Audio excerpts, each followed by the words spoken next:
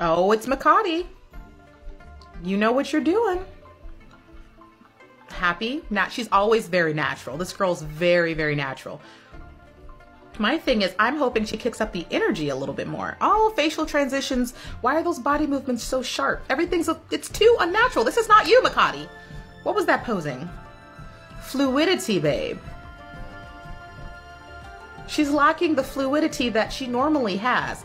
Oh, and that turn, it's just the fluidity is, is lacking. No, no, no. And I'm not saying she wasn't like a great performer, but I'm used to watching her perform. I know what she's capable of. So though some of you are like, oh, that was perfectly fine, I can tell you from experience of watching this girl, that was not her best. And this seems like it's a very high bar this year. Like a lot of these girls have developed greatly. Makati's putting herself in jeopardy with that performance. That was not her best.